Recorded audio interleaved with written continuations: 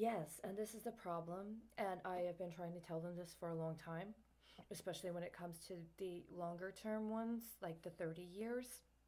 Right, and then you lie and you use somebody else's life in order to do the underwriting on the initial offer. And then later you want to swap it out or switch somebody else when you're trying to get all that shit you pegged to it. But what happens if the person hasn't done enough drugs or hasn't taken the bribe and they catch you in the course of trying to get a reissue again because you used them to set the deal up? Then you totally fucked the deal up.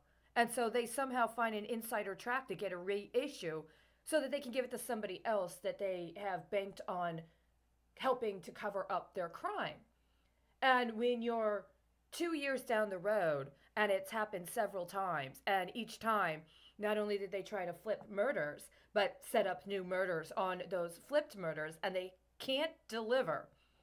And so now you're in the third time in less than 10 days where they're literally trying to make major reissues on somebody else's life and code it to get away with shit they still haven't been able to get away with because there's no justification for doing it.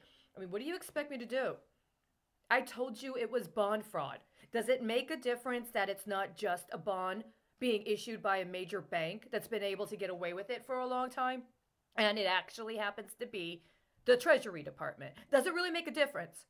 I'm just saying, I'm just saying, if you literally got people that allege that they are qualified to be involved with the Department of the Treasury and agree to co conspire to cover up for massive crime, including crime responsible for murder, by just doing a reissue to try to backdate the due and then give it to the same criminals, it's still bond fraud. I don't know what to say.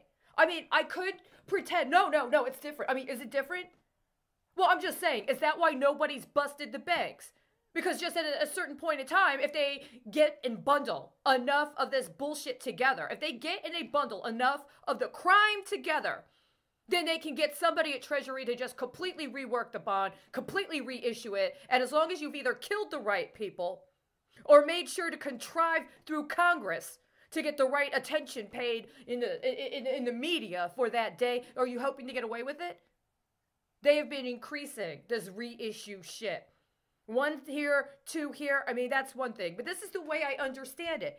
Every time, every time they do a reissue, what it does is it proves that they know there was fraud. And they know there was illegal money laundering. And the risk is so high, they actually have to redo the entire fucking issue at the fucking level of the Treasury. That is all the evidence I need. All the evidence I need. This is the fifth time in less than three fucking years. Three years. Fifth time in three years. Three years and two months.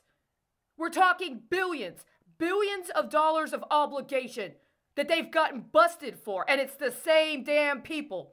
They're always trying to get the same damn names recapitulated in order to extort people into covering up for their crime. It's gone on too fucking far. The stakes are too fucking high. They're not getting away with it.